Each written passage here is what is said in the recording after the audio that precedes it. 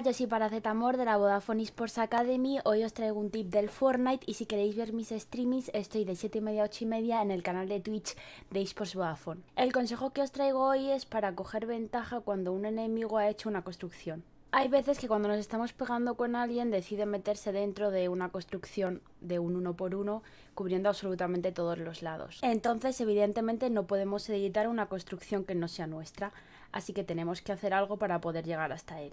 Tenemos dos opciones, conseguir entrar y matarle desde dentro o conseguir quitarle una de las paredes y matarle desde fuera.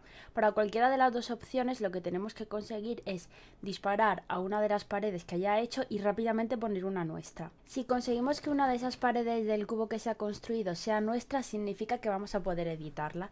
Entonces podemos hacer una ventana para pegarle desde fuera o una puerta para entrar y matarle.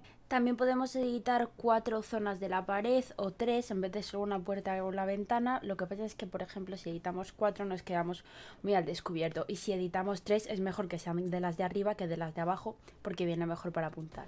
Además, si somos muy rápidos, podemos aprovechar que le rompemos la pared para ponerle una trampa dentro y luego encerrarle. Y hasta aquí el tip de hoy. Nos vemos en el próximo vídeo o en el streaming. Un beso.